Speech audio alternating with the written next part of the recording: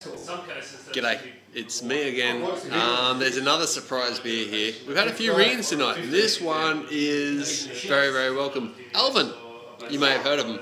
Um, they do one called Cuvée de Mortagne, Cuvée de Mortagne, and this one's aged in Sauternes barrel. So it's like a Belgian quad crossed with a barley wine. 14%, I think you said? Yep, sounds about right. Pause, dark brown, um, mahogany highlights. On the nose, you get some oak.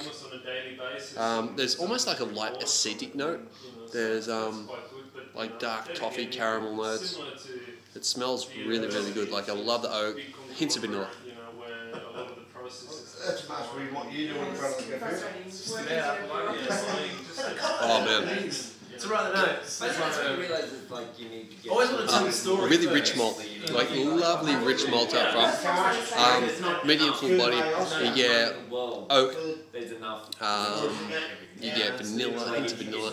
Yeah, I'm getting this light acidic thing again. It's it's very very weird, um, but it actually helps dry out the beer. Like the body comes right down, finishes nice and dry. You got dark fruits, plums, prunes, raisins happening in there.